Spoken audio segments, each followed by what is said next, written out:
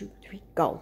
Hi, my name is Annie. Today I'm making salad for my family and um I just put in the salad and the spinach. So now I'm gonna start with the peppers.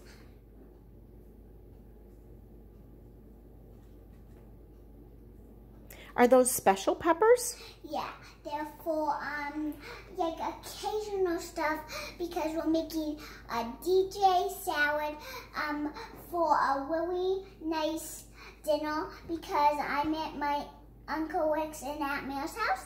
So um um I'm making a really special salad because I'm staying over for dinner. Nice. I don't always do that because I live in Seattle and um, I'm really happy that I'm here this week. Go. So um, I'm gonna put some in here. Gonna put some in everywhere. Nice. Okay, now I'm done with the peppers. Um, now I'm done do the now I'm do the cucumbers. Do you think I should break them? No, I think they go in just like that. Perfect. And did you cut the cucumbers up ahead of time?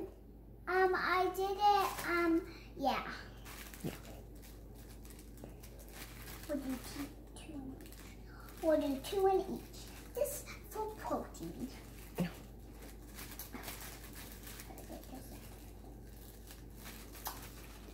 They're looking very lovely and very colorful.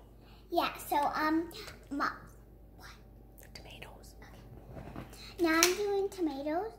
Um, so, yeah, I'm gonna put, um, the tomatoes in now. And um, this piece is gonna be perfect. So if you wanna add do, press on the mark right there. Okay. So I'm tomatoes now. Just mm, Okay, that's enough. and now I'm gonna close up the bin. So now I'm gonna do um strawberries. For a special treat, I'm gonna do strawberries.